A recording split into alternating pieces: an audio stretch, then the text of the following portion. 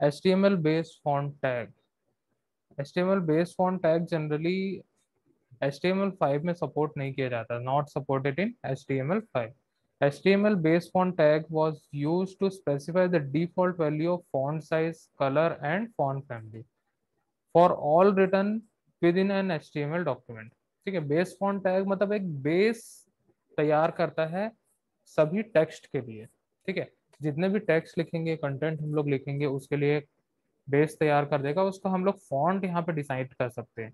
मतलब पूरे के पूरे एच पेज में पेज में जितने भी कंटेंट है, सबके लिए यहाँ पे एक बेसिक फॉन्ट साइज़ कलर और फॉन्ट फैमिली ये हम लोग डिसाइड कर सकते हैं, ठीक है? तो जनरली यहाँ पे हम लोग देख लेते हैं the base font was deprecated completely remove from H T M L five so, do not use this tag. Instead of it, you can use the css to style the document. ठीक है? अगर हम लोग H T M L five में coding कर रहे हैं, ठीक है? अभी तो हम लोग बेसिकली जो एच टी एम एल यहाँ पे सीख रहे हैं, वो H T M L four के ही मैक्सिमम टैग्स है। कुछ कुछ टैग्स हम लोग देखेंगे जो H T M L five के टैग्स भी होंगे। लेकिन हम लोग यही जो टैग यहाँ पे यूज़ करें, उसको सीएसएस से भी हम लोग अप्लाई कर सकते हैं मतलब स्टाइल टैग से भी हम लोग उसको अप्लाई कर सकते हैं, ठीक है? तो यहाँ पे हम लोग इसका सिंटेक्स देख लेते हैं, बेस फॉन्ट, सबसे पहले हम लोग बेस फॉन्ट लिखेंगे, उसमें दो तीन एट्रीब्यूट हम लोग लगाएँगे, कलर, ठीक है? कलर इक्वल टू ब्लू हम लोग लिख लेंगे, जो भी कलर हम लोग को चाहिए, साइज़ इक्वल टू फाइव हम लोग लिखेंगे, ये फॉन्ट का साइज़ है, ठीक है? फिर उसके फेस जो है वो एरियल ठीक है? फेस मतलब जो फॉन्ट होता है, ठीक है? फॉन्ट बहुत सारे होते हैं, ठीक है? तो उसका नाम है एरियल ठीक है? तो इस प्रकार से हम लोग यहाँ पे बेस फॉन्ट लिख सकते हैं, ठीक है? अब यहाँ पे हम लोग देखते हैं कैसे लिखते हैं इसको, ठीक है? तो यहाँ पे हम लोग एच टैग से स्टार्ट करेंगे, फिर उसके बाद हेड लिखेंगे हेड के अंदर हम लोग लिखेंगे टाइटल ठीक है? फिर उसके बाद यहाँ पे हम लोग इस हेड के अंदर में ठीक है? हम लोग को बॉडी के अंदर में नहीं लिखना, हम लोग को हेड के अंदर में लिखना हेड के अंदर में हम लोग क्या लिखेंगे? Base font colour colour equal to blue size equal to five मैंने दे दिया फेस इक्वल टू एरियल मैंने यहाँ पे दे दिया। ठीक है? फिर हेड को क्लोज कर दिया। तो हेड के अंदर में ही हम लोग को लिखना है। जब हेड के अंदर में हम लोग लिखेंगे, तभी ये काम करेगा अदरवाइज़ नहीं करेगा। ठीक है?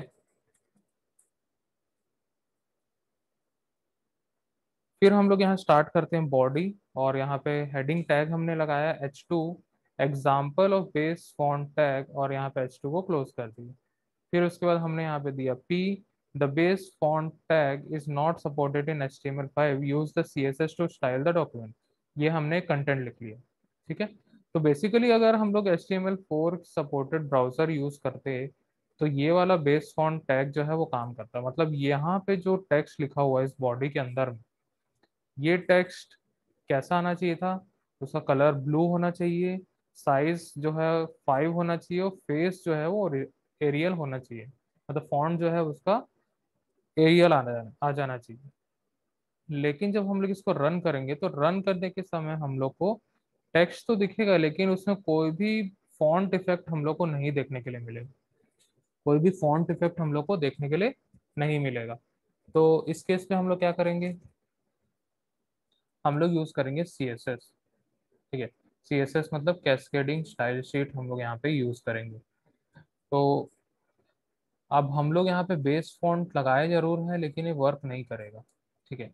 अब वो, उसको हम लोग कैसे वर्क करा सकते हैं, वो हम लोग आगे देखते हैं। ठीक है? तो सबसे पहले हम लोग इसको रन करके एक बार देखते हैं कि सही में यह काम कर रहा है या नहीं कर रहा ठीक है? देख सकते हैं कि सेम प्रोग्राम को मैंने यहाँ पे रन किया है। और यहाँ पे जो हमारा आउटपुट है वो सही से नहीं आया सही से नहीं आया मतलब जो फॉन्ट इफ़ेक्ट आना चाहिए था बेस फॉन्ट की वजह से, वो हम लोग को यहाँ पे देखने के लिए नहीं मिल रहा तो उस केस में हम लोग यहाँ पे क्या करेंगे? हम लोग अप्लाई करेंगे सी एस एस ठीक है? मतलब यहाँ पे हम लोग एक स्टाइल टैग यूज़ करेंगे इस हेड के अंदर में और हम लोग इस एच टू के लिए और पी के लिए यहाँ पे कुछ कलर्स डिफाइन करेंगे, कुछ साइज़ हम लोग डिफाइन कर लेंगे और फेस हम लोग यहाँ डिफाइन कर लेंगे। तो देखते हैं वहाँ पे हम लोग कैसे कर सकते हैं। ठीक है? तो सेम प्रोग्राम यहाँ पे है। यहाँ पे हमने क्या किया है? बेस फॉन्ट को हटा दिया है। ठीक है? ठीक है सेम प्रोग्राम में फिर से बता रहा हूँ।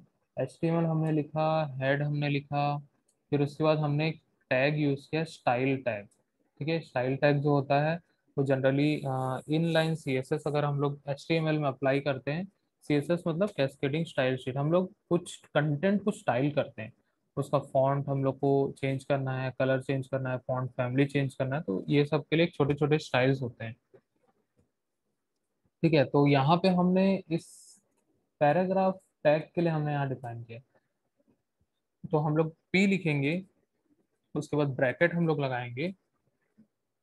ब्रैकेट लगाएँगे, उसके बाद हम लोग यहाँ लिख लेंगे फॉन्ट साइज़ और कोलन देके यहाँ पे हम लोग लिख लेंगे फॉन्ट का साइज़ ट्वेंटी पी जो भी यहाँ पे साइज़ रहेगा वो पिक्सल्स में होगा। ट्वेंटी पी हम लोग लिख लेंगे, फिर उसके बाद लिखेंगे colour C O L O R C O L O U R नहीं होगा। फिर उसके बाद यहाँ पे कलर हम लोग दे देंगे, ठीक है? तो ये हैक्स कोड में यहाँ पे दिया हुआ है, हम लोग चाहे तो ग्रीन रेड येलो ब्लू ऐसा भी हम लोग लिख सकते हैं।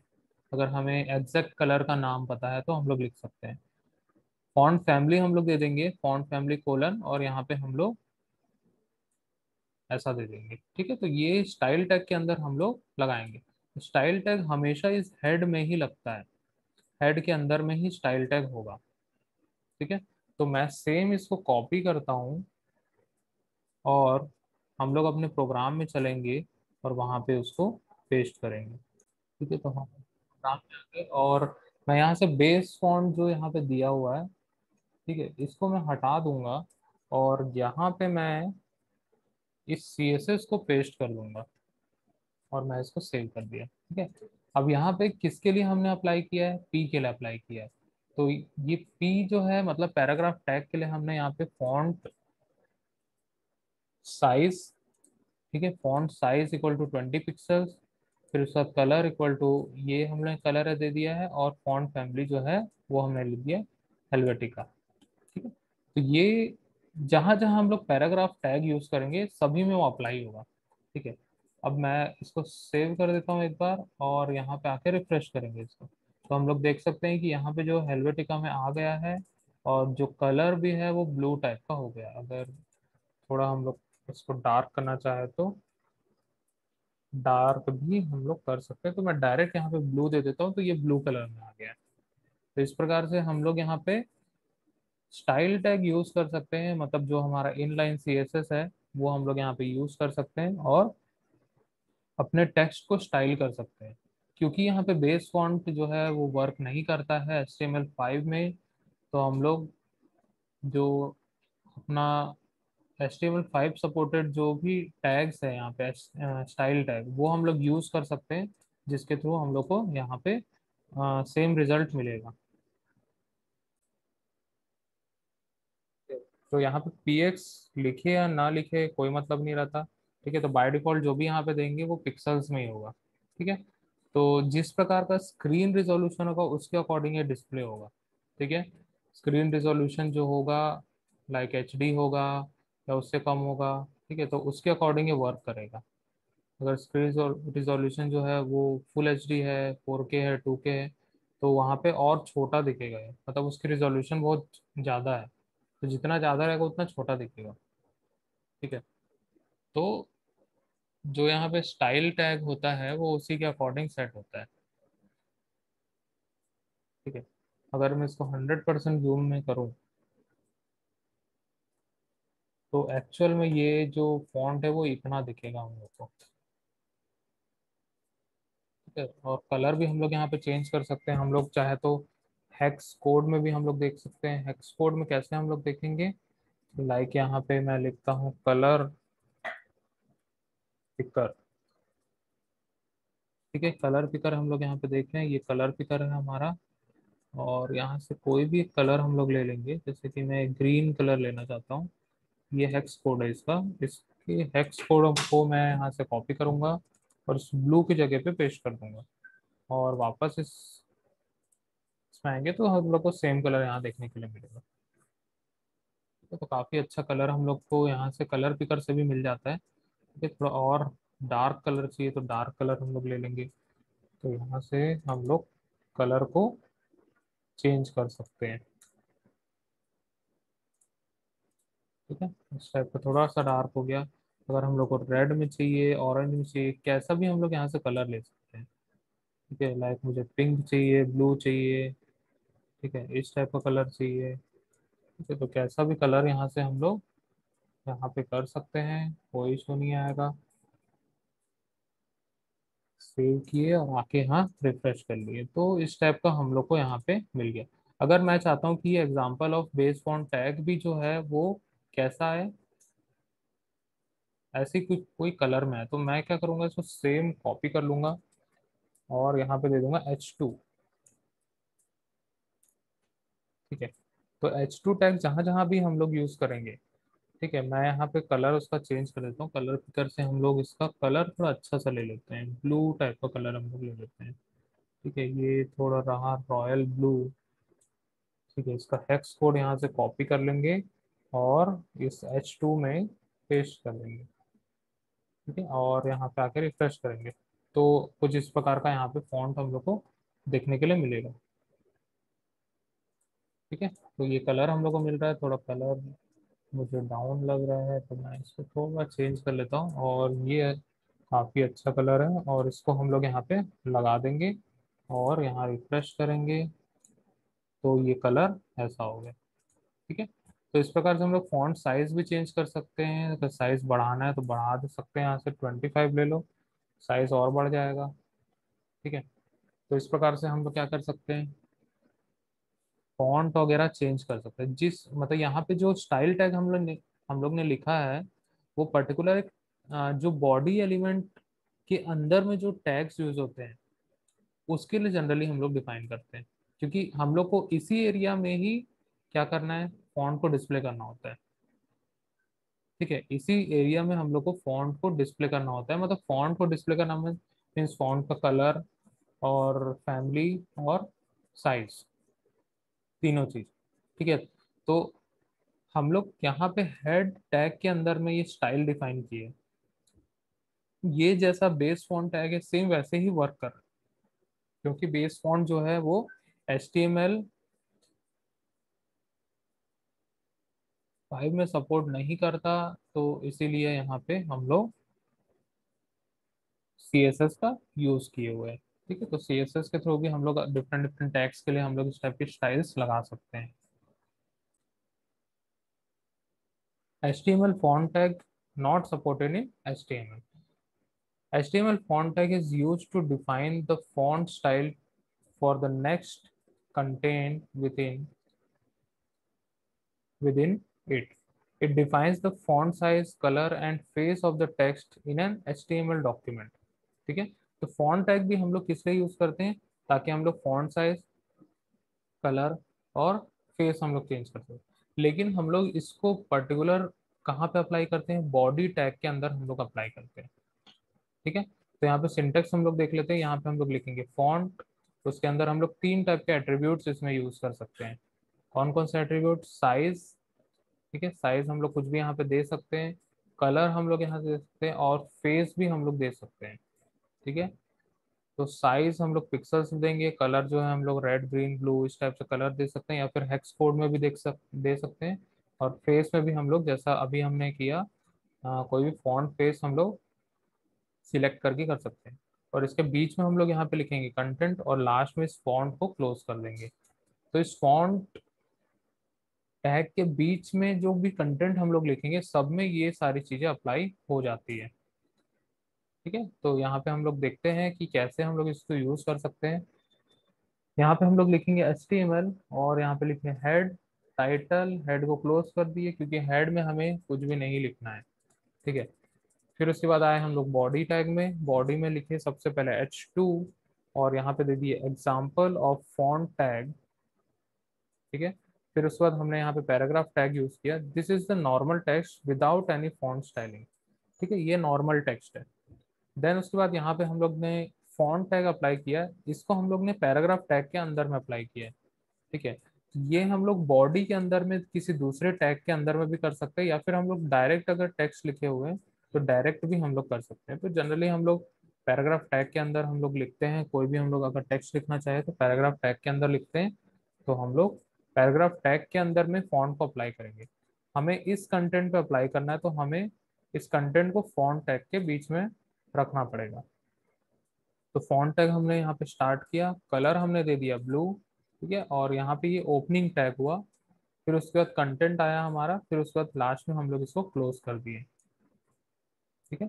फिर उसके बाद एक और हमने पैराग्राफ टैग दिया और यहाँ पे भी हमने फॉन्ट लिखा size equal to five colour equal to green और text with increase size and default face ठीक है? हमने यहाँ फेस नहीं दिया है, इसका मतलब जो भी डिफ़ॉल्ट फेस होगा एचटीएमएल का वो यहाँ पे आ जाएगा। तो एच का डिफ़ॉल्ट फेस जो होता है वो टाइम्स न्यू रोमन होता है। तो यहाँ पे टाइम्स न्यू रोमन फॉन्ट में वो डिस्प्ले करेगा। और लास्ट में हम लोग क्या करेंगे? इस फॉन्ट को क्लोज कर लेंगे।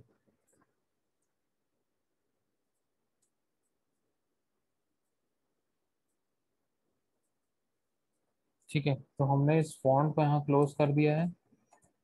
और लास्ट में हम लोग ने क्या किया? इस पैराग्राफ को भी कर दिया। ठीक है? फिर उसके बाद एक और हमने यहाँ पैराग्राफ टैग लिया और यहाँ पे हमने लिखा font colour equal to red face equal to cursive और यहाँ पे टेक्स्ट विथ चेंज फेस ठीक है? तो यहाँ पे हमने कलर चेंज किया, यहाँ पे हम लोग साइज़ चेंज किया और यहाँ पे हम लोग क्या किए? फेस चेंज किए, ठीक है? तो लास्ट में हम लोग पैराग्राफ को क्लोज करेंगे, फिर बॉडी क्लोज करेंगे और लास्ट में एच को क्लोज कर देंगे, ठीक है? तो इसका आउटपुट अगर हम लोग देखें तो आउटपुट हम लोग को कुछ इस प्रकार से मिलना चाहिए। ठीक है? तो हम लोग देखते हैं कि अपने आ, जो अभी हम लोग वेब ब्राउज़र यूज़ करें उसमें वर्क करता है या नहीं करता है। तो मैं इसको कॉपी करूँगा same as it is copy कर लूँगा और हम लोग अपने कोड में जाके इसको पेस्ट करेंगे। ठीक है? तो ये कोड है और मैं एक न्यू डॉक्यूमेंट लेता हूँ। ठीक है? और इसको सेव करूँगा। Font tag dot H T M L से। ठीक है? और यहाँ पे मैं इसको ओपन कर लूँगा। तो ओपन करने के लिए फॉन्ट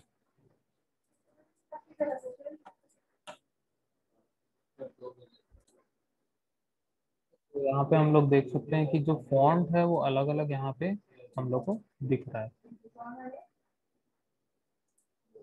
इस टाइप से, ठीक है? तो सबसे पहला ये पैराग्राफ है यहाँ पे this is the normal text without page without any font styling तो ये वाला पैराग्राफ टैग है, ठीक है? तो ये टेक्स्ट नॉर्मल टेक्स्ट होगा ठीक है? फिर उसके बाद हमने पैराग्राफ टैग के अंदर यहाँ पे क्या अप्लाई किया है?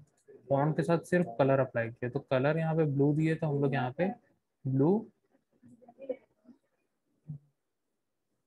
text with normal size and default face ठीक है? डिफ़ॉल्ट फेस है इसका मतलब टाइम्स न्यू रोमन में यहाँ पे शो हो रहा है। और यहाँ पे कलर जो है वो ब्लू में शो हो रहा है। फिर उसके बाद font size equal to five यहाँ पे दीजिए इसका साइज़ जो है वो फाइव है। कलर ग्रीन ठीक है? इसका कलर जो है वो ग्रीन है। Font colour equal to red ठीक है? कलर इक्वल टू रेड है यहाँ पे। फेस और यहाँ पे कर्सिव है, ठीक है? तो इस टाइप से यहाँ पे ठीक है? तो इस टाइप से यहाँ पे टेक्स्ट जो है वो डिस्प्ले कर रहा है। ठीक है? तो इसको हम लोग कुछ कुछ यहाँ पे हम लोग यूज़ कर सकते हैं। अगर वर्क नहीं करता तो हम लोग को यहाँ पे सी एस एस भी अप्लाई कर सकते हैं। ठीक है? तो ये सारी चीज़।